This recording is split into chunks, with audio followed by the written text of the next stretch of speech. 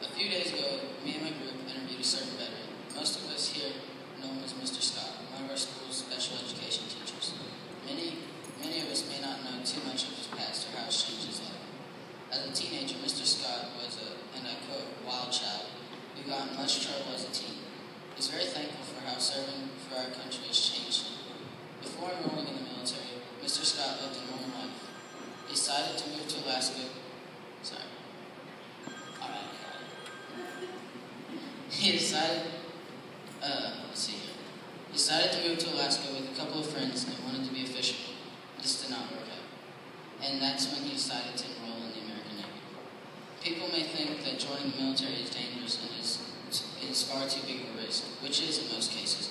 But knowing these risks, Mr. Scott went anyways, knowing the opportunities that awaited him. He was only 20 when he decided to enlist into the armed forces. He became a part of the Navy and later on the National Guard. He served and dedicated 12 years to his family, our country, and never said he wanted to be a while out there. While, while on, while, uh, excuse me, while on base, Mr. Scott made many friends and loved all of them as brothers. His favorite part was traveling across the globe where he learned many different things about different people and their cultures. His favorite place he went was Pattaya, Thailand. He loved this place so much due to its amazing culture and how everything could be so hectic but still so under control. Mr. Scott also told us about the humorous parts of when he served.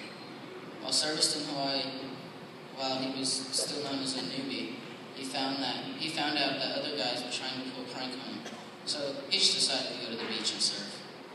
He also enjoyed being able to call his parents sometimes, even though there was no texting and email at the time.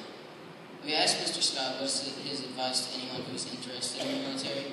He almost immediately responded with just go. The military has changed his life in the best possible way for him, and he says he loved serving for his country. Mr. Scott and the rest of our veterans, thank you for all your service and your risk you took for our country and our